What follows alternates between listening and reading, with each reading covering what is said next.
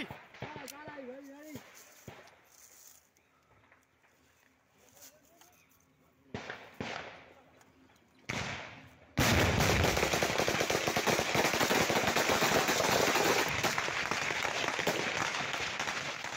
စကိုင်းနိုင်ရာတော်မြို့နယ်မှာစစ်တပ်နန်းသားတွေတဲလာတဲ့ကား6စီးပါစစ်ရင်တန်းကိုဂျားပြတ်တိုက်ခိုက်ခဲ့ရာဗိုလ်ကြီးအပါအဝင်စစ်အုပ်စု20တေးပြီးဒုအရာခံဖို့အပါအဝင်စစ်အုပ်စုရဲ့တင်းနန်းသား49ဦးဖမ်းမိတယ်လို့အမျိုးသားညီညွတ်ရေးအစိုးရ UNG ကာကွယ်ရေးဝန်ကြီးဌာန MOD ပြည်သူ့ကာကွယ်ရေးတပ်မတော် PDF စီယုံချုပ်ကသတင်းထုတ်ပြန်ပါတယ်။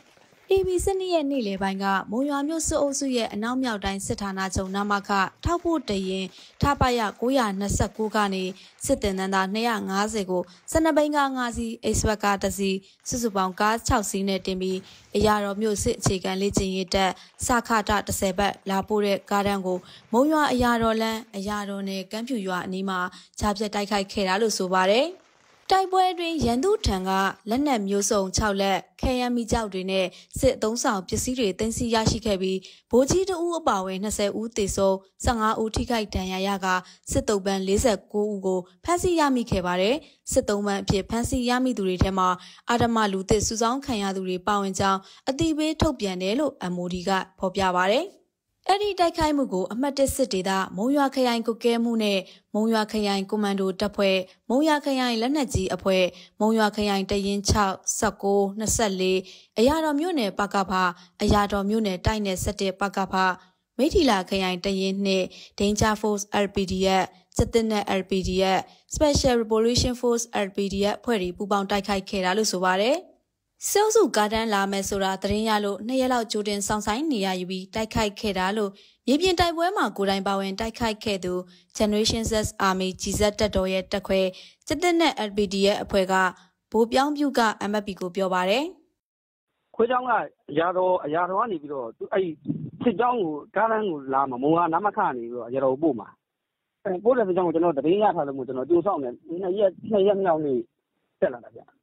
ငကားကတော့၅စီးပေါ့ဗျာ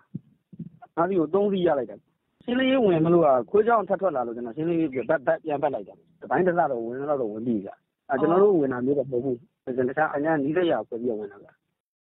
အဲ့ဒီတိုက်ပွဲဖြစ်ပွားခဲ့တဲ့အရာတော်မုံရွာကားလန်ကမ်းပြူရွာအနီးမှာမီးလောင်ထားတဲ့စကွားတွေရှိနေစေလို့ဒေသခံတွေကပြောပါတယ်။ ညနေ3နာရီလောက်ကနေည8နာရီလောက်ထိပြစ်ခတ်တိုက်ခိုက်တန်တွေကြားရတယ်။အခုလည်းအဲ့ဒီတိုက်ပွဲဖြစ်နေတဲ့နေရာမှာစခအလောင်းတွေနဲ့မီးလောင်ထားတဲ့ကားတွေရှိနေသေးတယ်လို့ဒေသခံသတင်းအရင်းမြစ်က MFP ကိုပြောပါတယ်။ တိုက်ပွဲဖြစ်ပွားပြီးနောက်စေအုပ်စုကအရာတော်နေတဲ့ရွာစင်အပတ်မွေကလူသက်လူရက်မီးရှို့နေပြီး AB73 ရဲ့တကြမ်းအကျိုးနေ့မနက်ပိုင်းအရာတော်နဲ့အနောက်ကျန်ကအင်ချေထောင်ကြီးရှိတဲ့ဝါတော်မရွာအပါဝင်စီတာမကြီးစုအောင်ချမ်းသာမော်တော်ဘော်ကုံစတဲ့ကျေးရွာတွေကိုစီးနှင်ကပြည်သူနှုတ်ကိုတပ်ဖြတ်ပြီးနေအိမ်တွေမီးရှို့ဖျက်ဆီးတယ်လို့ဒေသခံတွေကပြောပါတယ်။ ဒါအပြင် AB73 ရဲ့တကြံအကျိုးနေ့ညနေပိုင်းမှာအရာတော်တော်တောင်ချမ်းက